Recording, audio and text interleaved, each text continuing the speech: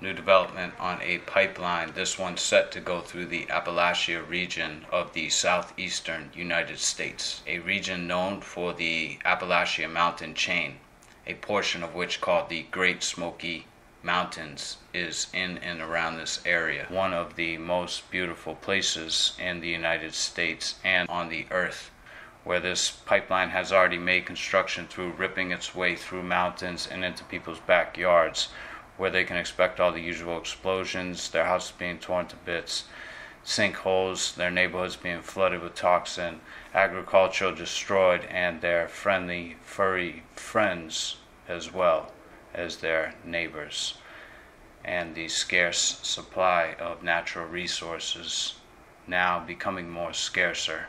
Some soldiers have made their way to the front line, one of which goes by the name of Nutty, has been in a tree post erected with a pole tied to some cables for months, 50 feet in the air, and has been supplied with some food, although there has been 24 hour surveillance uh, positioned around her from the various agencies uh, that have arrested people that have attempted to uh, resupply her.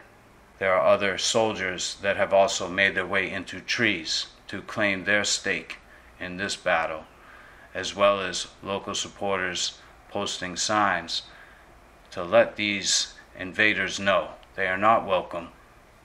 At the moment, the stockpile is being held in Beckley, West Virginia, due to the state website crashing.